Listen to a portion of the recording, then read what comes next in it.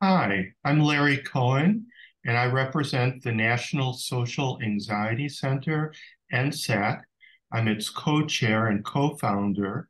And today it's my privilege to have a conversation with a colleague of mine, Dr. Kristin Bianchi, who's a licensed psychologist who practices in the Center for Anxiety and Behavioral Change in Rockville, Maryland, where which is affiliated with NSAC as our regional clinic in Montgomery County as well as Northern Virginia.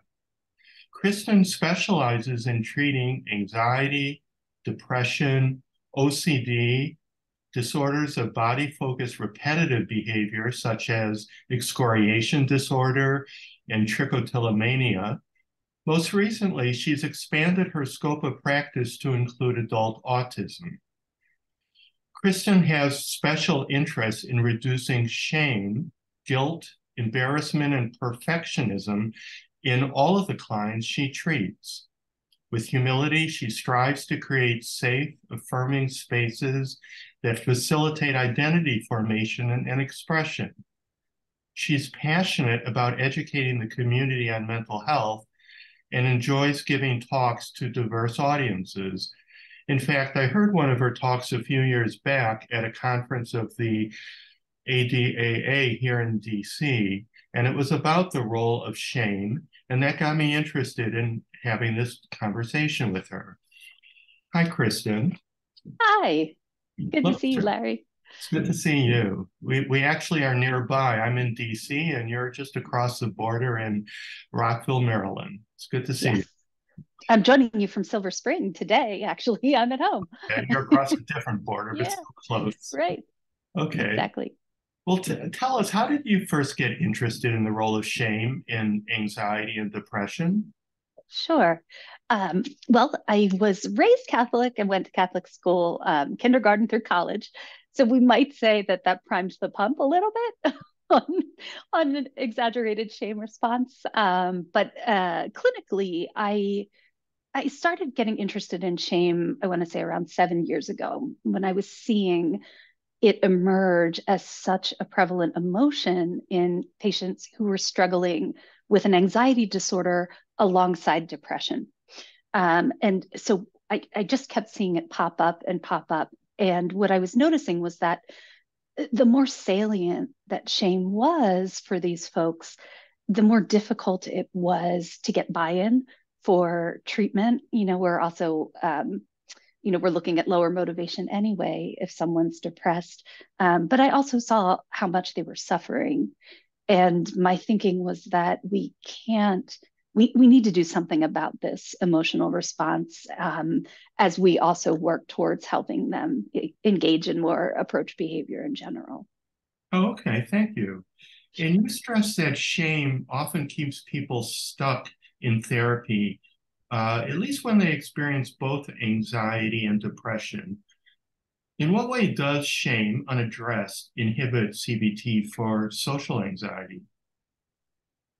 So we know that shame is an inhibitory emotion. Um, so when we feel ashamed, our automatic response is to withdraw, to hide, to kind of recoil. Um, so in essence, it, it tends to keep people in hiding a little bit more, which leads to more social isolation and more patterns of entrenched avoidance.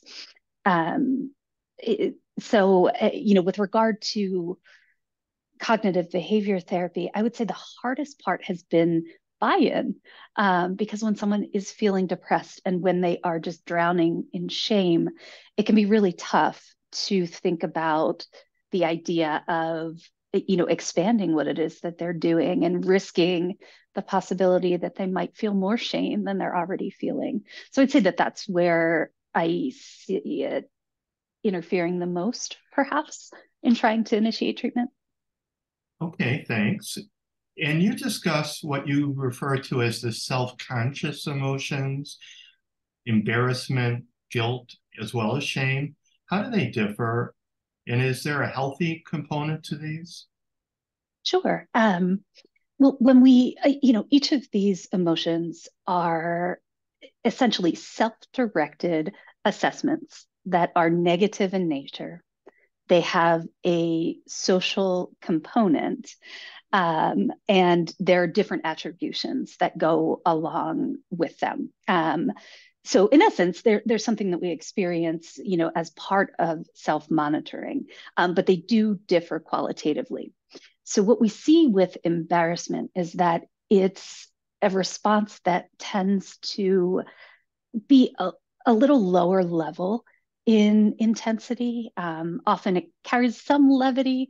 Um, so kind of think of somebody, you know, slipping on a banana peel, assuming they don't injure themselves, um, or splitting their pants. Again, that would be very embarrassing. Um, but uh, you know, it's these are instances um, that can that kind of happen in day to day life that can often be more easily dismissed. So they they just they occur on a somewhat lower level, I would say, on average. Um, it, with guilt, uh, you know, we will see people experience this emotion in response to an actual or perceived transgression, right? And when we feel guilty, um, our instinct is to try to make reparations, right? So, um, in that regard, it is more of an excitatory emotion. With embarrassment, we can kind of we have to kind of shrug it off and keep it moving. Um, with guilt, you know, again, the instinct is to make reparations. With shame, um, what we see is that this is a self-directed evaluation in response to transgressions perceived or um, actual um, that involves a, what we call characterological self-blame. So whereas with guilt you know the attribution around the self is that okay what i did wasn't great. Um, I, I wish i i wish i hadn't done that. I'm going to apologize um, but but the emphasis is on the action. With shame, we would hear what I what I did wasn't great, and I'm a terrible person, or I'm incompetent, or I'm unlovable. Um, so it takes it a step further and really directs it inward towards the person. And so, for making a characterological attribution, um, you know, we can see how that would be a whole lot harder to dislodge and how, uh, you know, again, it would contribute to more avoidance. Now, the emotions evolved, they, they did have a purpose, right? So it's not the case that we're going to get through life without having them. You know, when I think about the the the function of embarrassment, um, it it probably helps us adhere to kind of day to day codes of conduct, um, you know, perhaps grooming, hygiene, timing, you know, basic rules and regulations. And I think it, you know, we sort of conform to those to, you know, try to avoid embarrassment. Um, with guilt, right? That if that emotion evolved as a means to help people repair relationships, um, to you know resolve conflict, to um, you know, uh, yeah, to to be able to move forward and put, you know, a transgression behind someone and to you know continue with social harmony. Um, with shame, what we see is that it has a moral regulation function, right? So the fear of of doing something that we would consider shameful, it it it has its place in uh, preventing egregious transgressions that might be harmful to other people and that also might be you know visible and you know a, a little bit more socially oriented. Um, but it, it, it's one of those responses that gets overactivated. Um, and so while it helped us uh, you know again adhere to moral codes so as not to get ostracized by our um, you know our clan our tribe et cetera in more in more primitive times. Um, it, it, doesn't need to we don't need it in in that same way. Our survival doesn't depend on it. And again when we're looking at people who are struggling with anxiety disorders ocd depression ptsd we'll see people getting really, really stuck when that is a big part of their lived experience on a day to day basis. It's very interesting. Thank you. I've noticed that many socially anxious people initially experience embarrassment about some faux pas or at least perceived faux pas that they uh, committed, um, whether it's um, saying something they think was stupid or unintentionally, you know, forgetting somebody's name or, you know, unintentionally offending someone, uh, but then go on and the shame quickly evolve, excuse me, the embarrassment quickly evolves into shame. So they don't just feel badly about what happened, but they start feeling badly about themselves and ruminate about it. Yes, um, that that absolutely does happen. Um, and what we're seeing there, as you point out, is that you have the actual instance, you know, the experience that they've had, but then it's the attribution around it, right? So, what does this mean about me? Well, um, if I called someone the wrong name, I might have offended them. Geez, I'm such a failure. Gosh, I'm so incompetent wow, I'm so unprofessional, right? Versus being able to say, oh, that was that was an accident. I wish I hadn't done that. You know what? I'm going to just reach out and apologize if, if that's even necessary, right? Um, so, uh, but yes, I think so much of it has to do with the attributions that we make around those experiences. Okay, thanks. And you make the point that shame is the most aversive of the self conscious emotion and the one that leads to greatest avoidance and suffering. Why is that? Um, it, shame, in essence, exerts an inhibitory, um, it, it, it contributes, it's an inhibitory emotion, right? So when we feel ashamed, we are less likely to do whatever it was that created shame. Um, and so, I'm sorry, could you repeat the question? Why is shame more aversive and more likely to lead to avoidance and suffering? Got it. Um, right. So it is an inhibitory emotion um, that, again, leads to a lot of avoidance, self isolation, um, and a narrowing of our behavioral repertoire. Um, and so, in that regard, we end up becoming um, more disconnected from people, from society, from life. And you know, in, you know, with that, we can also expect more depression. Um, and so, it's it's it's painful when we feel like we don't belong and that there's something about us that's unacceptable. Um, so, I think it's more insidious than the other two emotions wherein it feels like there's a little more wiggle room to do something about it um, and to stay in the social space in which it happened. I see. Um, you stress that shame plays an especially important role when someone experiences both anxiety and depression together. Um, and socially anxious people do indeed have a much higher incidence of mood disorders, but not every socially anxious person is depressed, although many are, but not everyone. And so I'm wondering do you see shame as playing a role in social anxiety, even when the person um, has minimal problem with depression? Absolutely. Um, you know, often for those folks, it's a fear of shame. It's a fear of doing something that of which they'll be ashamed later. So it might not be one of the preponderant emotions in their day-to-day experiences, but perhaps you know perhaps they've had experiences aversive experiences with shame in the past. And so i see it as a little bit more of a a feared emotion um, versus a lived one that that's kind of part of their clinical presentation. Whereas when it's a lived emotion it pretty much always accompanies depression you feel uh, some some people might debate that but i would say so. I i, I see you know i see shame as such a prevalent emotional response among depressed people who who also have anxiety. But you know even if we just took depression alone we would see a lot of of shame.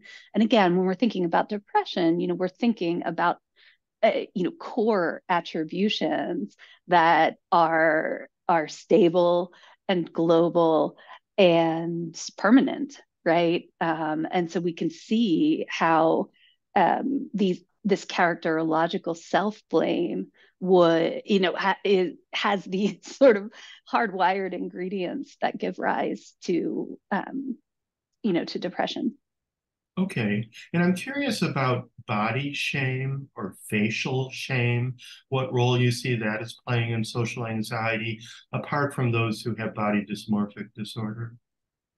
Sure. I love this question because I really think that telework has done us all in, right? It is not typical for us to be looking at a reflection of ourselves while we're doing our job. Um, it, even animals respond somewhat um, negatively to that. They get distracted. Um, and so in many ways, right, it's like it's like hearing, it's the analog of hearing your voice on a voicemail with that same kind of cringiness, right?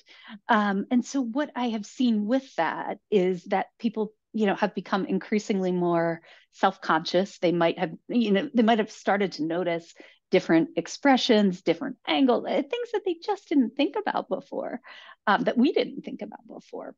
Um, and so now there's uh, there's more of an awareness, and I would say that there's more of a self consciousness. You know, the other pieces that for two plus years, right? So many of us weren't weren't moving our bodies in the way that you know we typically would in a given workday or you know getting out and doing you know the kinds of exercise we like to do.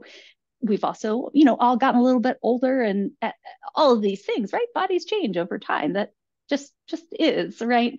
Um, but often uh, you know i'll see people feeling embarrassed about their appearance self-conscious about seeing people whom they haven't seen in a long time. What are they going to think? What if you know um you know what if what you name it and someone has probably told me that they that they fear it with respect to you know negative evaluations of appearance. Um, but again uh, it, this takes a little bit more of a it, it's more of a gestalt than what we would see in BDD, where there's this heavily focused, um, you know, this fixation on you know, what is typically a particular feature or um, some characteristic. Um, and what I see in this is that uh, people are you know more aware and self-conscious about their faces more aware and self-conscious about uh, you know the the bodies they live in um,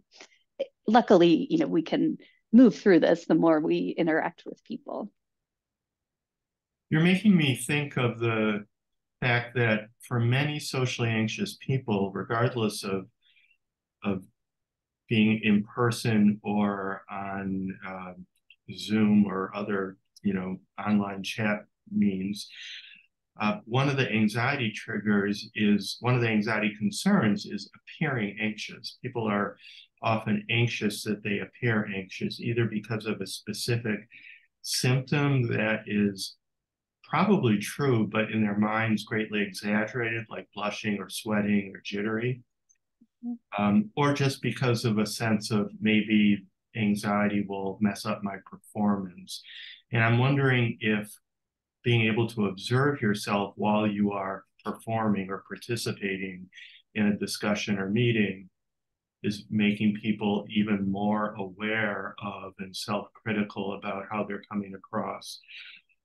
Um, or perhaps if they're seeing it as better than they had thought, but my guess is it's not the latter. right. I wish it were. people would be feeling a lot better now than they um, than they did uh, pre-pandemic. Um, so yes, I mean, in essence, if we are nervous about looking nervous. And we're getting this real-time feedback of how we look right? If we see that our, our face has reddened if we see that you know we're a little bit sweaty or our hand is shaking it's one we've got this this active confirmatory bias happening. And then two like you said it's um it's the intensity of the response and it's how we think other people will be perceiving it. So like you said it's you know, when people are a little nervous doing something, I think I think you know I like to think that that people are generally good. I think we're we have compassion. We've all been nervous when we're trying something that's you know hard or difficult for us. Um, uh, but you know it, people really are are nervous about about nervousness and, and then that can kind of feed into um, yeah just increased anxiety and and avoidance um, and it you know it it it's funny how quickly avoidance can can snowball and how narrow our worlds can can get um, absolutely yeah. You talk about establishing what you call a shame fingerprint with clients. What would that look like um, with socially anxious persons? Sure. So when it, when I think about establishing a fingerprint, what we what we want to look at is how shame operates and interferes in their lives. So in essence, we're going to want to know what are a person's shame triggers, right? Um, drawn from all realms of their life. Um, what is the physiological response that they have? And usually the shame response is, it, it, you know, it's it's close to fight or flight. And often people will say they feel like they've been doused with cold water, which may have to do with an adrenal response. I'm not quite sure. Um, but we look at their physical sensations, we look at their behaviors, right? So we have the triggers, we have the physical sensations, then we have what they're doing and even more importantly, what they're not doing.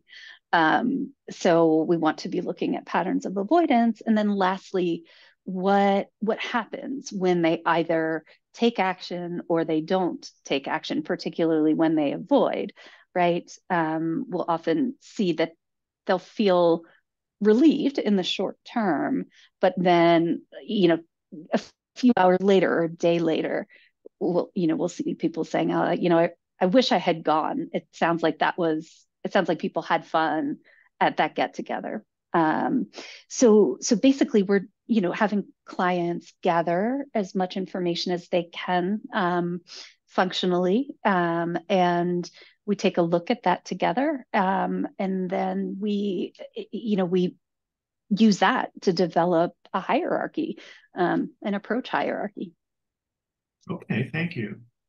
Um, I've come to actually, since listening to your workshop a few years ago, I've come to believe that social anxiety, also called social phobia, of course, is distinctly different than all other specific phobias, not just because the feared object is different. You know, in the case of social anxiety, it's judgment or embarrassment or, you know, rejection, criticism, or ultimately shame but also because with social anxiety disorder, there's underlying core beliefs about ourselves, uh, negative core beliefs that often lead to shame, as you say. Whereas with other phobias, it's really beliefs, which I'm not sure I would call core beliefs, but distorted beliefs about the animal or the place being more dangerous sure. than it really is, but not negative beliefs about themselves. And so I'm wondering, what are the core beliefs that you see are um, associated with shame for people with social anxiety? Sure. You know, often eh, the core beliefs are ones that would render a person more likely to get rejected, more likely to get ostracized, more likely to get criticized. So I'll hear often, I'm a failure. That would mean, you know, when I, you know, ask, well, what would that mean? And, you know, we do the downward arrow. Um, what would that mean? I, it would mean I'm a failure what would that mean? It would mean I'm unlovable. Um, what what would that mean? It, it would mean I'm I'm unacceptable. Um, you know, so those are a few um, among others. We could say um, stupid, incompetent. Um, uh, I'll, I'll have people worry that they're mean spirited or that they are, you know, sort of this nebulous bad person. I'm bad.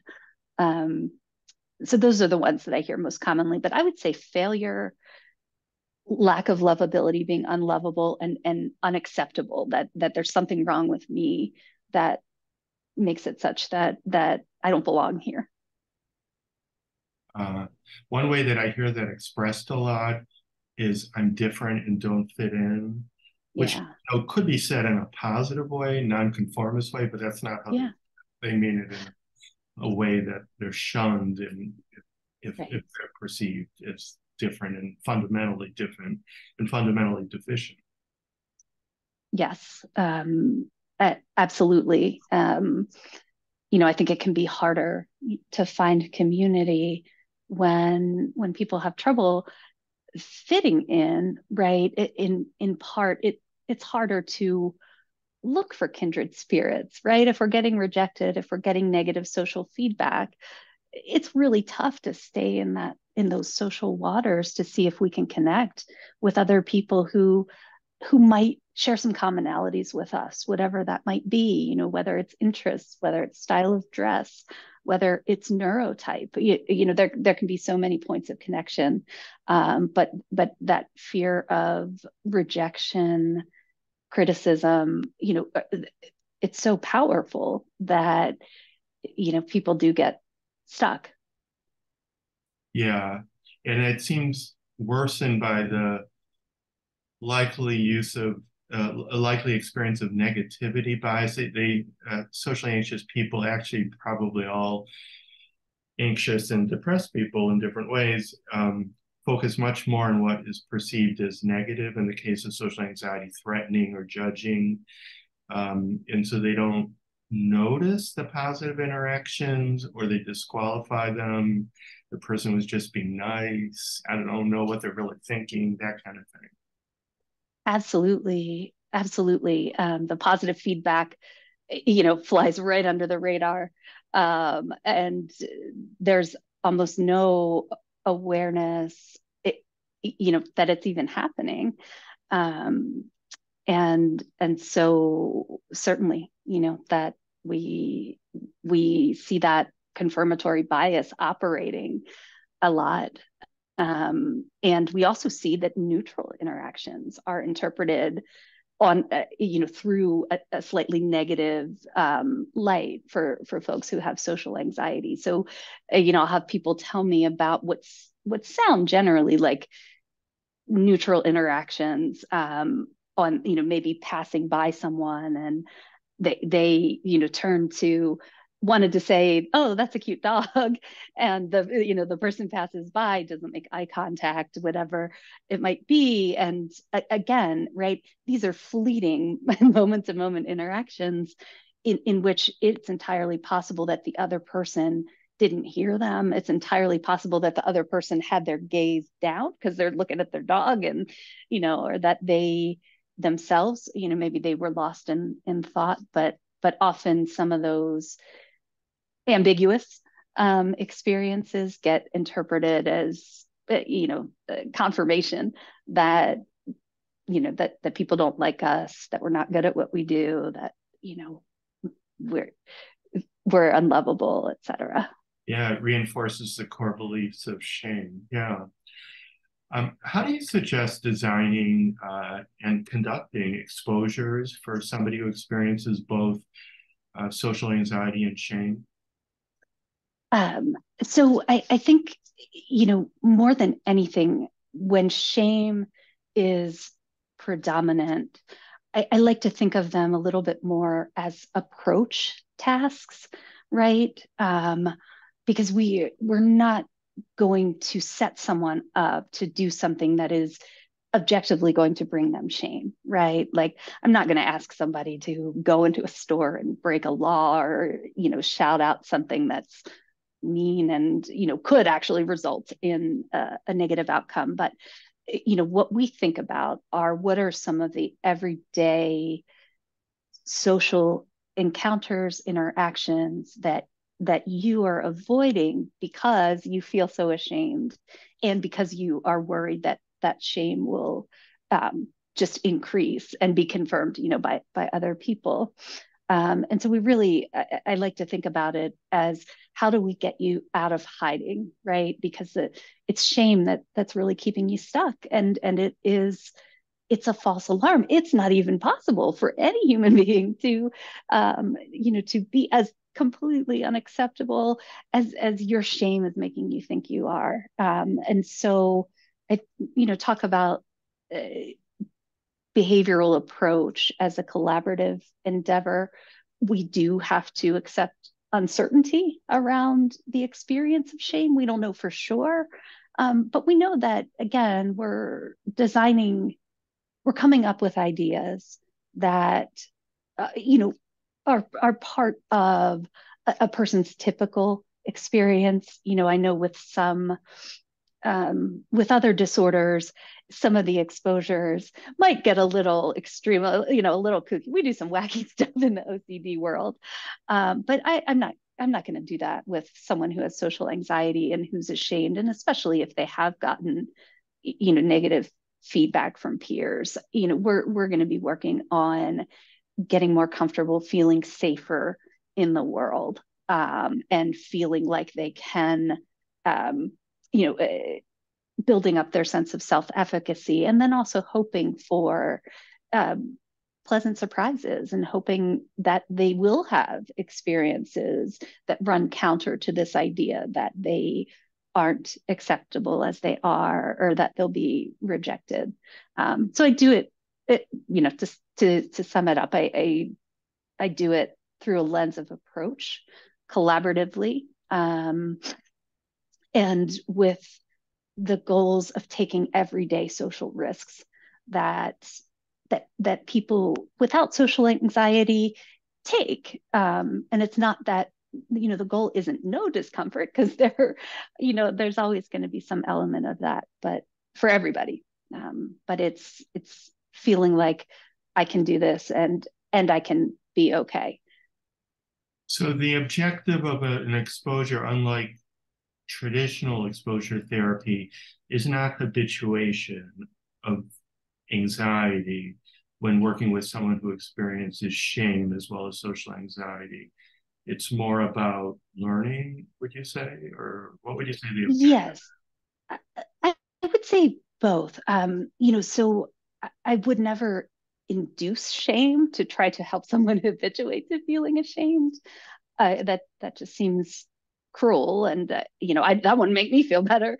Um, but but what we can do um, is that we can uh, attenuate the fear response around the expectation of shame.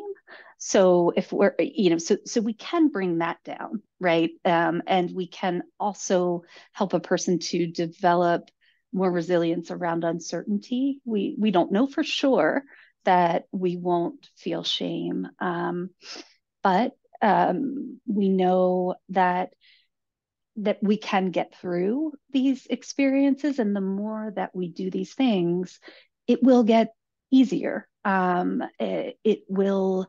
Um, we will feel more comfortable and we will feel more confident. We will feel more courageous. Um, and and we may also, again, have some pleasant surprises. Um, we are very likely to have experiences that run counter to what we think will happen. Um, and so I'm so excited when when somebody, you know, has a experiences a drastic departure from what they were anticipating. You know, they're worried about um, how you know people people aren't going to talk. I haven't seen these people in five years. You know, they're going to think this, that, and the other. I probably should just, you know, I'm going to keep, I'm going to keep a low profile. And they walk in and, you know, that they're greeted with hugs. It's so good to see you. Oh, I'm so glad you, I'm so glad you're here. And, um, you know, I love it when that happens. And they, they wouldn't have had a chance to see how much their presence has a positive impact if they hadn't, you know, taken those risks. So those are examples of exposures hopefully leading to learning you, you know that mm-hmm. the outcome is isn't as bad or is more tolerable or in some cases good um, as well as learning that um, they can be resilient that they're not as vulnerable or helpless as they think they are which all helps reduce shame in the longer run uh, but you also make the point that within an exposure, shame, you can't expect shame to habituate, unlike anxiety, which you know, if they're not using their safety seeking behavior sooner or later, likely will habituate. Why do you think shame doesn't habituate with simple exposure? Um, you know, I think in part it's such it's such a punishing emotion. It's such an inhibitory emotion that it's one, it's difficult to have someone stay with, stay in the situation if you know if again if we were you know in let's say inducing shame in the way that we would with with fear or disgust um uh, you know it's the the primitive response to shame is is to make oneself smaller and to hide. Um and i you know i also think that there's this there are a lot of variables that influence the experience of shame around which you know we may not you know of which we want to be respectful right? So there may be religious values they, there may be cultural variables um, that you know that make it such that someone may experience more shame um, than others. Um, but uh, you know again we wouldn't be asking a person to overtly transgress. Um, but it's it's it's a little stickier because it is so inhibitory. It is tough to get people to buy into the exposure in the first place. Um, and it's so aversive right? That um, you know the combination of it being aversive and of shame being inhibitory you know it's not a not a great mix for a habituation model. Sure sure. Um, I've noticed that rumination, in fact, there's a lot of research on this, that rumination, post event rumination, but also pre event rumination or worry is a big part of social anxiety, not all the time, but much of the time. Uh, and a lot of the, at least post event rumination, is shame filled. And I was wondering if you could say more about the role of rumination in shame or maintaining shame and how to minimize that. I, I would go so far as to say that the rumination about the experience it, it may be even worse than the experience or more powerful than the experience itself right because the experience happened once and then it's over um, with rumination, we're reliving it over and over again.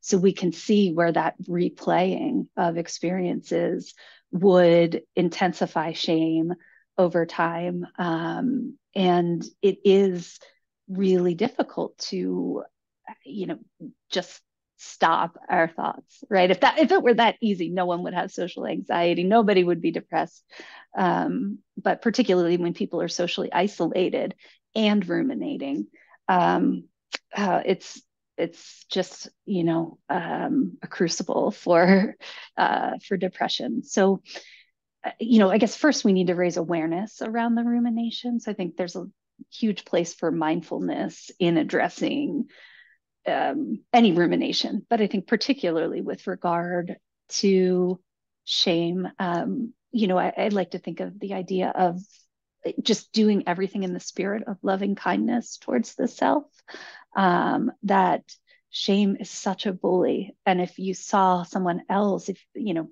pick a loved one and they were struggling with this would you tell them that they were unlovable that they were failures that they just shouldn't show their face in public? Of course not.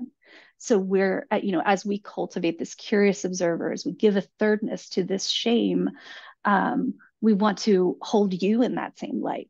Um, and so, you know, with disengaging from rumination, there's so many ways, you know, once we have greater awareness of it, um, then, you know, we can kind of take our pick what works best, what's available. So if we want to, we always want to bring our attention you know back into the present so whether that's using breathing as a means to ground ourselves whether that's um, you know using our senses to ground ourselves whether that's choosing some type of body movement that ideally wouldn't necessarily leave us alone with our own thoughts. For, for some people, going for a long run or walk is great, um, but for other people, it's just they say it's a recipe for disaster, and and that's too much time alone in their head.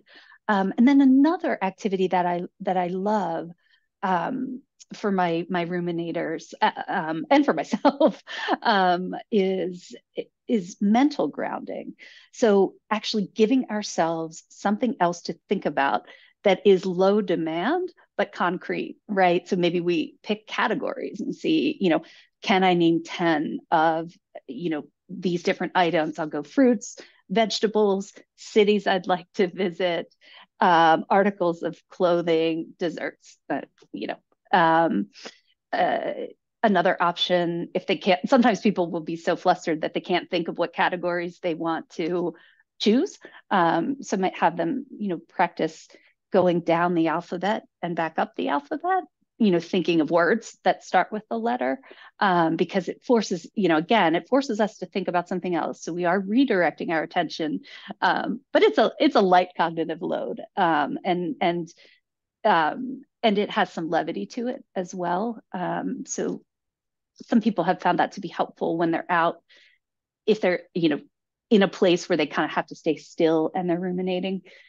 Um, and getting in their heads then I'll have them do something like that Okay, thank you. And you mentioned conferring thirdness to shame. Say mm-hmm. more what you mean by that strategy. Sure. So, in the same way that we would talk about fear as a false alarm, and we know that it's you know that that button is getting pushed over and over again that the smoke detector keeps going up um, because the wind is blowing um, but there's not actually a fire. And um, and and so in the same way that we would with fear and establishing fear as as you know as something that is governing our lives we do the same thing with shame. And so we start talking about the difference between the person and their shame. Um, so let's see what is what's the shame doing today? You know what what is it forecasting? What you know it, it once we have some rapport there can be space for levity. Um, but what, what's it? What are its predictions? Um, and really recognizing it for the bully that it is, because if you think about, you know, all of the things that shame is telling a person, right? So I'll, you know, I'll ask people, what, well, what is your shame telling you about yourself? Um, you know, they'll give a list, and um, okay, well, well, can you imagine what what would happen if someone else said those things to you? What would you do if you saw two pe- if you saw someone saying those things to somebody else? And usually they're they're a bit shocked like they can't imagine you know they can't they can't imagine talking to someone else like that. They really can't imagine having someone say such vicious things to them um, and they can't imagine seeing something like that happening and not being deeply upset that a person was was treating another person that way. So there, you know, we we can say shame is a bully. Um, and you know, we we need to make sure that we recognize it as such and that we're not treating it as, you know, that feelings aren't facts, right? And and because this is getting exaggerated, it's it's like propaganda, right? It's like a um, like venomous propaganda. And so there are all kinds of, you know, examples of that we can use of bullies, um, you know, can draw on, but it's not not hard to find some in the cultural zeitgeist.